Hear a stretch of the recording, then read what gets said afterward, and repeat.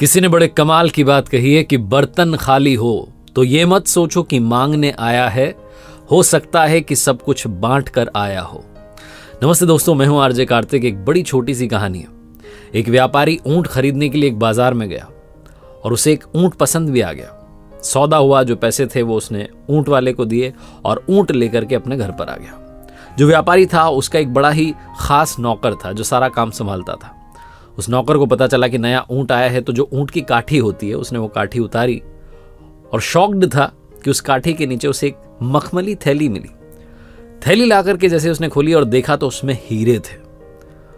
वो चौंक गया, दौड़ के मालिक के पास गया और कहने लगा, मालिक, आप सिर्फ़ ऊँट नहीं लाए हो, आप तो साथ में मखमली थैली में बहुत सारे हीरे लाए हो। व्यापारी ने कहा, क्या कह रहे हो? तो उसने दिखाया कि देखो कितने अच्छे अच्छे हीरे व्यापारी ने कहा इस थैली को वापस बांधो, इसको मैं दे के आता हूँ। नौकर सोचने लगा कितना बेवकूफ़ मालिक है। अच्छा खासा माल हाथ में आ गया, वापस देने जा रहा है। उसने समझाया कि अरे किसी को क्या पता चलेगा, आप तो ऊँट लेके आओ, बात खत्म हो गई, किसी को पता नहीं चलेगा। व्यापारी ने कहा, नहीं नहीं, मैं वापस लौटाने जाऊँगा। व्यापारी ने वो मखमल की थैली ली और लेकर के वापस उस बाज़ार में गया, उस ऊँट वाले को ढूँढने लगा। बहुत ढूँढने के बाद जब वो ऊँट वाला मिला तो कहा कि, भाई साहब, वो जो ऊँट था उसकी काठी के नीचे, ये मखमली थैली थी जिसमें बहुत सारे हीरे थे, लौटाने आया ऊँट वाले ने कहा, क्या बात है तभी मैं सोचूं कि मिल क्यों नहीं रही कहाँ गई, वो आपके साथ चली गई थी। लाओ लाओ लाओ। तो इन्होंने थैली दे दी।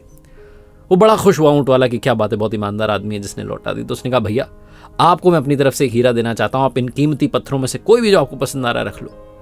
व्यापारी ने कहा नहीं, मुझे नहीं चाहिए, मैं तो बस लौटाने आया हूँ।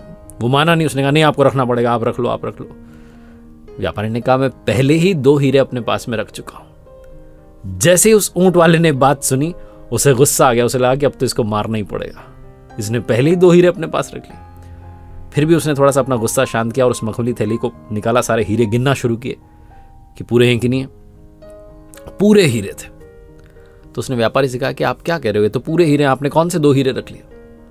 उस व्यापारी ने कहा, मैंने सबसे अनमोल दो हीरे अपने पास रख लिए, पहला ईमानदारी और दूसरा अपना आत्मसम्मान सेल्फ रिस्पेक्ट छोटी सी कहानी जिसका सार ये कहता है कि जीवन में पैसा ही सब कुछ नहीं होता है।